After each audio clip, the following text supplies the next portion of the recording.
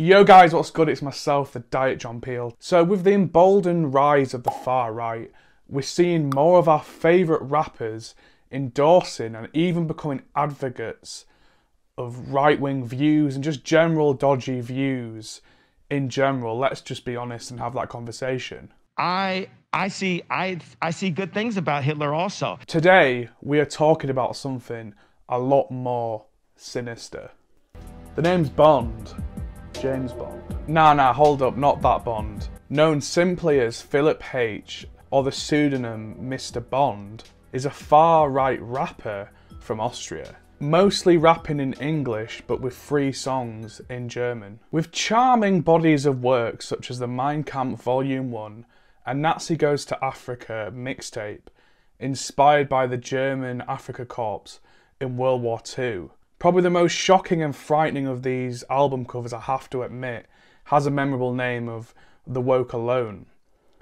A cover problematic for so many reasons, with horrible racist and anti Semitic caricatures of Jewish people and black people and Arab people on the front cover.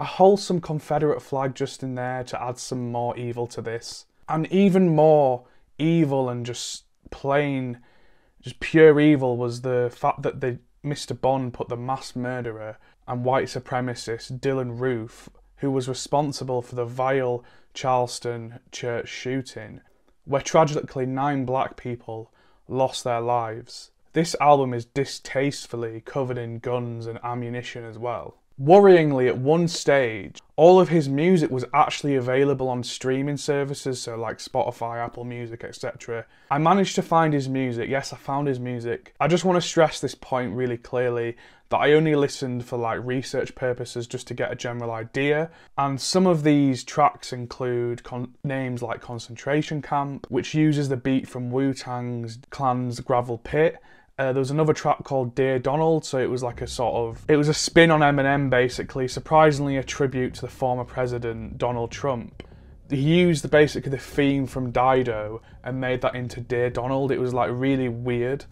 I'm not reciting any of the lyrics because I'll get demonetized. All you need to know is that it's absolutely vile. Basically, his music wants to incite a race war, and it's the most hateful music I've ever heard. Filled with calls for hate crimes, murder of minorities, and promotes white supremacy and Nazi ideology. Even one track disses Eminem trying to like emulate his voice and his cadence. Personally, my biggest issue, my biggest and the biggest crime of all of this is how weak his bars are and the production. It's just whack, man. Whack. So the argument is the main premise of his music that it's parody, and people have even strangely compared him to Weird Al. Firstly, Weird Al is actually leagues higher than this guy, and he's actually funny.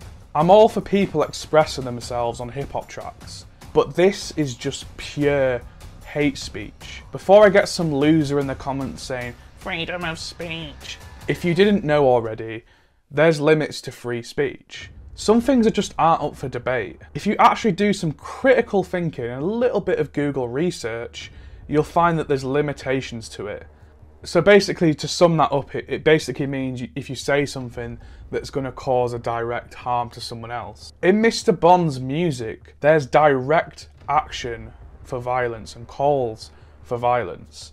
After evading the Austrian authorities for a long period of time, he was tracked down and hunted by the Austrian authorities. This commenced after a heavily armed neo Nazi gunman targeted a synagogue in the eastern city of Halle in Germany in 2019. As Mr. Bond's music was a key to the neo Nazi scene, the gunman, filmed through his camera helmet, was blasting Mr. Bond's music. Stephen B. was sentenced for a lifetime for murdering two people. He avoided the police for years. This is Mr. Bond who avoided the police. He had even been alleged to have translated and published the racist manifesto of the Christchurch gunmen in New Zealand, where 51 people were killed. After a lengthy and massive investigation, in early 2021, police arrested Mr. Bond in the southern part of Austria. No surprise finding old style Nazi era flags, objects, and a stockpile of weapons.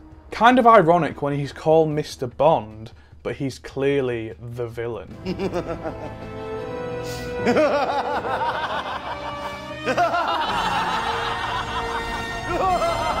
Concealing his identity during the trial, evidence of CD covers of Adolf Hitler on the front cover, drawings in which Jewish people are vilified, texts that approve of mass murder. Apparently, Mr. Bond was acting meekly in the courtroom, and how sorry he was and all that kind of BS, trying to counter with his weak ass defense. His brother ran the website Judas Watch and distributed songs and lyrics of Mr. Bond, and kind of confessed to his crime.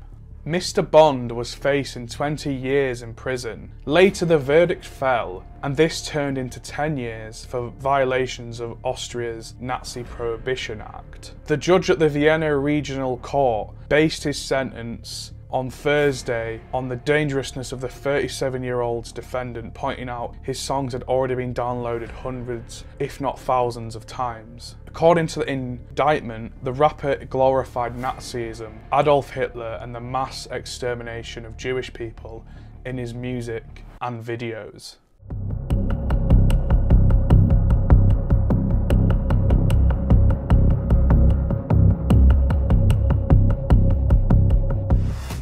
With the ever dooming rise of the far right, I do have some hope that good people outnumber these evil people. To a small degree, I'm just some guy on the internet. Some would call me a parlour socialist. You can sit here and say, how do people get to the place of being like Mr. Bond?